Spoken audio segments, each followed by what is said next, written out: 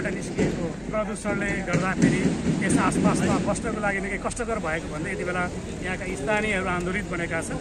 नियमित रूपबाट आन्दोलनमा चलिरहेको छ। खास गरी यहाँबाट निस्किएको धुलो खरानी र यहाँबाट इटोबाट निस्किएको जुन पानी छ त्यसलाई शुद्धिकरण नगरिकन खोलामा मिसाएपछि दुर्गन्ध फैलिएको भन्दै यति बेला चाहिँ यहाँ यहाँ स्थानीयहरू चाहिँ आन्दोलित बनेका छन्। उद्योगमा तालाबन्दी गरेका छन्। जल प्रदूषण बन्द गर स्वच्छ वातावरणमा बाँच्ने अधिकार सुनिश्चित गर औद्योगिक नियमको पालना गर औद्योगिक नियमको पालना गर स्वच्छ वातावरणमा बाँच्न पाउने जनताको अधिकार सुनिश्चित गर जल प्रदूषण बन्द गर प्रदूषण बन्द गर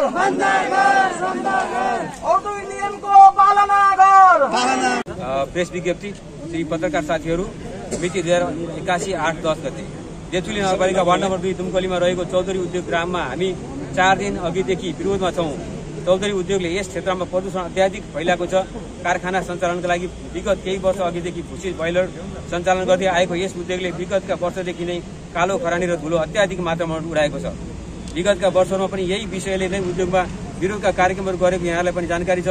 उद्योग नजिक बस्तीहरू बढ्दो छ। बस्ती विस्तारसँगै उद्योगले स्थानीय जनतालाई जनताहरूलाई असर नगरी उद्योग सञ्चालन गर्नु हो गर्नुपर्ने हो। तर यस चौधरी उद्योगले स्थानीयहरूको स्वास्थ्यको कुनै प्रभाव नगरी बोइलरबाट धुलो र धुवा उडाएको छ। त्यसैले यहाँ बस्ती जनताले लगाएको खेतबारी अ, धोएर सुकाएका लुगा साथै उद्योगबाट निस्केको कालो धुवा धुलो आँखामा समेत पर्ने र यसले अपरेसन नै गर्नुपर्ने अवस्था समेत सिर्जना भएको छ। यसको निराकरणका लागि हामीले आवाज उठाइरहेका छौँ। यसै गरी इटीबाट निक्लेको दुर्गन्धित दुर्गन्धबाट पनि यहाँ हामी यहाँका चाहिँ सम्पूर्ण स्थानीयवासीहरू चाहिँ पीडित हुनुहुन्छ र खेतबारीमा लगाएको अन्नहरू पनि नष्ट भइरहेका छन्। यसको निराकरणलाई हामीले आवाज उठाइरहेका छौँ। जनताको स्वास्थ्य सम्बन्धी अधिकारका लागि उद्योगले कुनै वास्ता नगरेपछि हामीले पहिलो चरणको शान्तिपूर्ण विरोध कार्यक्रम अन्तर्गत पहिलो चरण यही उद्योगको पूर्वतर्फ रहेको गेटमा बस्यौँ। पाँचौँ दिनसम्म पनि उद्योग प्रशासनले जनताको आवाज नसुनेपछि हामी पछि विरोध कार्यक्रम थप अघि बढाउ बढाउँदै हामी आज पाँचौँ दिनमा प्रमुख गेटमा पत्रकार सम्मेलनसँगै फुटबल गेट र मुख्य गेट बन्द गर्ने निर्णयमा पुगेका छौँ। पत्रकार साथीहरू हामीलाई थाहा छ मुलुक आर्थिक सङ्कटमा गुजिरहेको छ। भएका उद्योग बन्द अवस्थामा छन्। यो उद्योगले स्थानीय सँगै बाहिरी व्यक्तिहरूलाई रोजगार प्रदान गरेको छ तर हामीले पाउने स्वास्थ्य सम्बन्धी अधिकार नपाउँदै गर्दा यो विरोधका कार्यक्रमहरू गरेका छौँ। वातावरण प्रदूषण नियोजन सङ्घर्ष समिति तेतुली नगरपालिका दुई नवलपुर हस् धन्यवाद।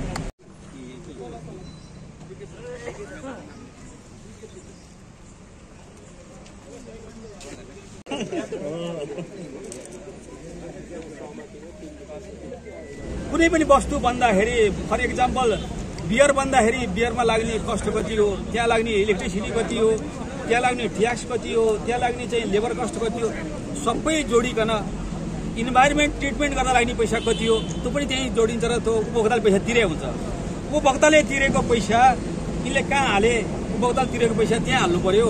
जहाँ ट्रिटमेन्ट गर्नुपर्ने छ त्यहाँ पैसा हाल्नु पर्यो। यो पैसा हामीले चाहिँ एउटा कामको लागि भनेर चाहिँ पैसा असुल गर्ने अर्को काममा खर्च गर्ने यो संस्कृतिले गर्दा यो समस्या आएको हो। यो समस्याको समाधानको लागि हाम्रा मौजुदा कानुनहरू पालना हुनुपर्छ। मेरो मान्यता यही हो। अब म आफै स्वयं व्यक्तिगत रूपमा भन्नुपर्दा र अहिलेको चाहिँ राज्यको पनि चाहिँ नीति के छ भने एक त उद्योगपतिहरू आफ्नो दायित्वप्रति सजग नरहनु। र म स्वयं जनप्रतिनिधि भएको नाताले लज्जा बोध गर्दै के भन्छु भने हाम्रा देशमा मौजुदा कानुनी व्यवस्थाहरू हामीले त्यसलाई कानुनीको तहमा लैजाने कतिपय अवस्थामा पालिकाहरूको पनि दायित्व छ। हामी पालिकाहरू त्यसप्रति उदासीन बन्नु यसको कारक तत्व हो। हाम्रो कानुनको पनि मूल कानुन भनेको संविधान। संविधान नेपालको संविधान दुई हजार बहत्तरको भाग तिनको मौलिक हक तथा कर्तव्यमा स्वच्छ वातावरणको हक भनेर प्रष्टसँग लेखेको छ। प्रत्येक नागरिकलाई स्वच्छ र स्वस्थ वातावरण बाँच- बाँच्न पाउने हक हुनेछ। दुई वातावरण प्रदूषण वा ह्रासबाट हुने क्षति बापत पीडितलाई प्रदूषकबाट कानुन बमोजिम क्षतिपूर्ति पाउने हक हुनेछ भनेर किटानिक साथ संविधानमा पनि लेखिया छ। र उद्योग दर्ता गर्दा औद्योगिक व्यवसाय ऐनमा टेकेर दर्ता हुन्छ। औद्योगिक व्यवसाय ऐनमा पनि ठुला उद्योगको हकमा इआइए इन्भाइरोमेन्ट इम्प्याक्ट एसेसमेन्ट भन्ने एउटा हुन्छ वातावरण प्रभाव मूल्याङ्कन। यो बियर फ्याक्ट्री जस्ताले वातावरण प्रभाव मूल्याङ्कन गर्नुपर्छ। र यी साना साना फ्याक्ट्रीले इआइए भन्छ आइई इनिसियल इन्भाइरोमेन्ट एक्जामिनेसन गर्नुपर्छ। यो गरेको छ। त यो प्रभाव मूल्याङ्कन गर्दाखेरि उसले कतिपय कानुनी कुराहरू र चाहिँ कतिपय चाहिँ विषयमा कमिटमेन्ट गरेका छ गभर्मेन्टसँग ती कमिटमेन्ट पुरा गरेको भए यो प्रदूषण हुँदैन थियो र यो प्रदूषण भइसकेपछि यसलाई नियमन गर्ने निकाय भनेको अब अहिलेको हकमा पालिका नै हो पालिकाले वातावरण निरीक्षक नियुक्त गरेर उद्योगहरूको कतिपय चाहिँ ठुला होटलहरूको र हामी स्वयंले गरेको प्रदूषणको पनि निरीक्षकले चाहिँ निरीक्षण गर्न पाउँछन् ती निरीक्षकले दण्ड जरिवाना गर्न पाउँछन् ती निरीक्षकले आवश्यक परे बन्द गर्न पाउँछन्। कानुनमा प्रष्ट व्यवस्था छ। त्यो भएर म अझै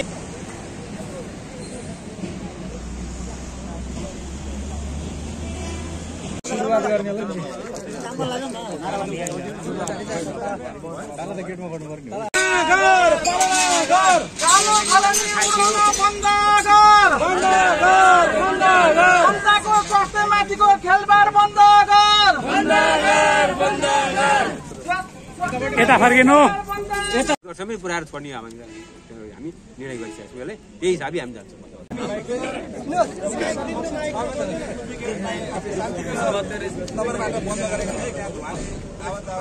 हाम्रो राज्यको रेडियो अङ्गमा रहनुभएका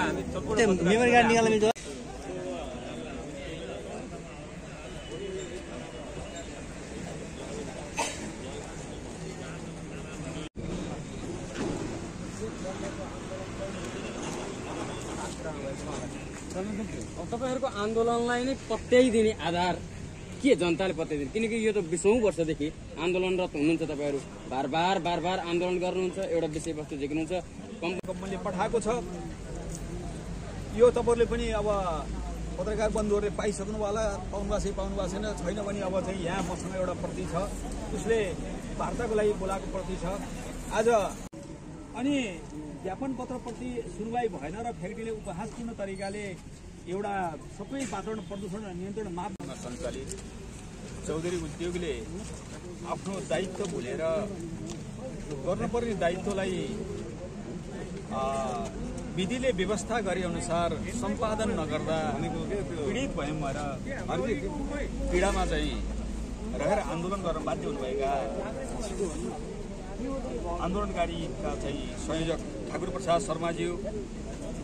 हामी पूर्वी र गोयल आज हामी बन्द गर्छौँ र यसबाट चाहिँ हामी कुनै दिँदैनौँ र यसलाई हामी अब यसको चुङ्गोमा नपुगेसम्म हामीले यसलाई चाहिँ नियन्त्रण दिनेछौँ